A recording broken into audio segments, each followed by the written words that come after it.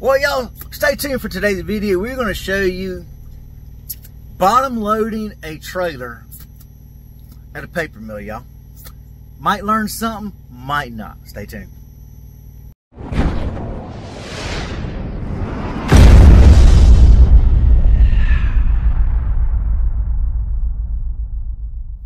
What's up, what's up, what's up, everybody? Y'all, welcome back to the episode of the Tourette's Trucker Channel.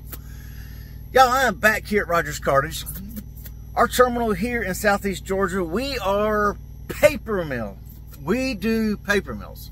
Our terminal is different from all the other terminals. That's all we do is run from paper mill to paper mill. We load at one paper mill, take it and deliver it to another paper mill, which we do like 99% of the loading and unloading.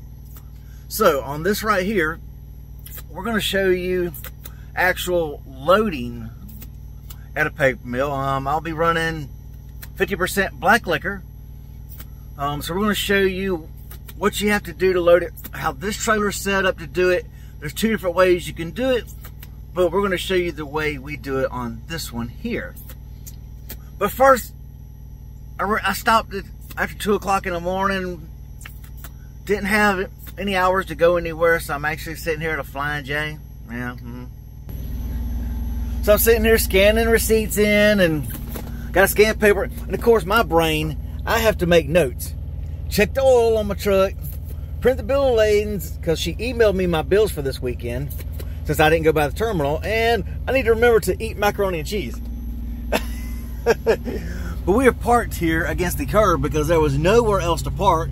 Of course, there were truck's all right there, so luckily they're gone, but now I can get out. But I hate to park along the curb, but I mean they were nowhere else. They were two and three along beside the scale and everything else.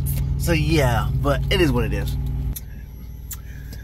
Yeah, so I can't even log in for another hour and 52 minutes. So I'm up, Go eat me some mac and cheese, go do some paperwork, and then we're gonna get on down to the mill and I will show you what it's like to load, bottom load, a tanker, y'all. Stay tuned. All right, y'all, there are a couple ways, different ways you can load a bottom load. We've got our internal valve open, our external valve is open, which you can see here. We have our hose hooked up. It's run up to here. You have product valve going to the truck. Here's one of the product lines coming off right here. Here we have air line to blow the line clean. So when you're done, you close this switch to the product line. You close that product line off. Leave that valve open. Go close the internal valve on your trailer. You leave the big valve, ball valve open. Close the internal, which drops the plunger down. So it allows product in, but not product to come back out. You'll open up this air line push air through your line, it'll clear your line out. It'll push all the product out of your line into your trailer.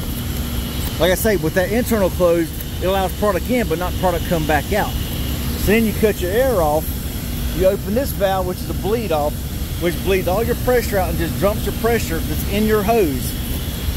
So you have that valve, all your valves closed, you close that external valve. With this valve open, all your air pressure comes back out. Because this valve's closed, so nothing can go anywhere except for through this line right here. So that's how you clear a line. Now, we don't actually open the dome lid. It depends on what you're loading. Like we're loading, we got the dome lid closed, but we have a cheater hose. You can't see it, but you can, you can hear it blowing here. So this line runs up to the top of the trailer so we don't have to open the dome lid up. Now we have to go up there and close that valve back before we leave, otherwise product will come back down through here and come out.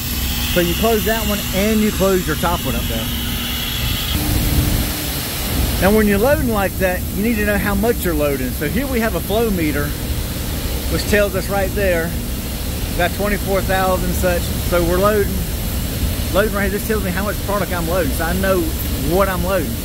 So then when it gets to where I want to load at 48,000 pounds, I close this valve. That shuts the valve off. The runs around there, runs the pipe right there. Then I'll close this valve first. Then I'll go close that valve. And then I can blow the line clean and I can disconnect. And then we're good to go, y'all. That is how you, one quick, a quick video on how you can do it without opening your dome lid.